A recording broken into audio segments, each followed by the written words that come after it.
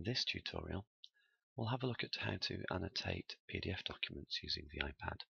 This could be used before a lesson, or it could be used within a lesson, for example, getting students to annotate content live, especially if you're linked to the board via Air Server. First of all, though, we might need to convert things into PDF. So, I'm actually going to use the Apple Office products. We could use Pages or Keynote. If I go to my Documents area, I could either create a document or I could have already saved documents onto the iPad. So let's have a look at how we save those documents to the iPad. So in this instance, I'm collect a document from my iPad email. So here's daily notices. I click and open them and then I'm going to click on the upload and share button at the top right and open in Pages rather than Word. That will then import into the iPad. Sometimes we get a formatting message because some fonts aren't available. However, the Apple Office version does allows a bit more functionality. So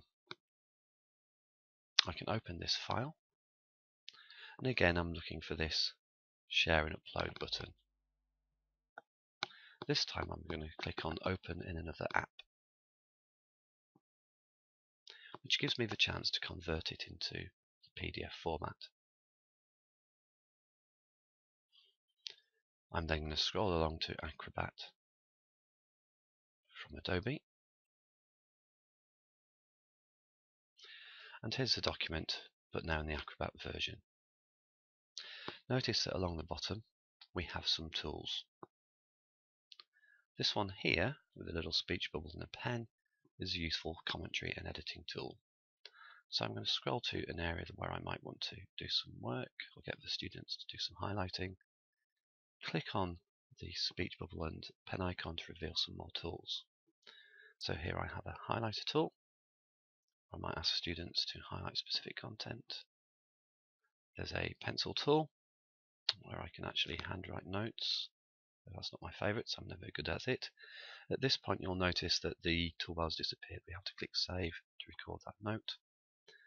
We may even use the text tool.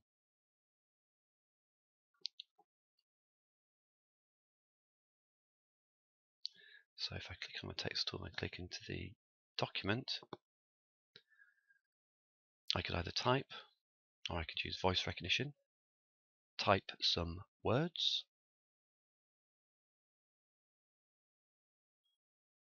clicked on done, clicked on save, and now that types of note is there to move around in my text. I could even resize that by clicking in and changing font size and so on.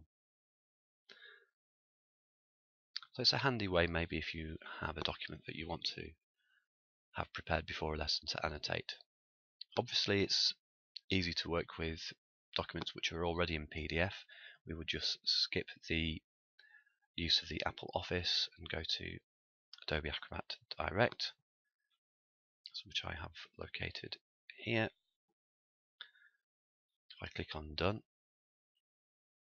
and then click on the blue icon at the top, we can go to any documents that you've downloaded. So for example, I've got some exam board specifications here that I might want to open a particular page of and to annotate. So it's a pretty useful tool for doing some basic annotations with preset texts. Hope that helps.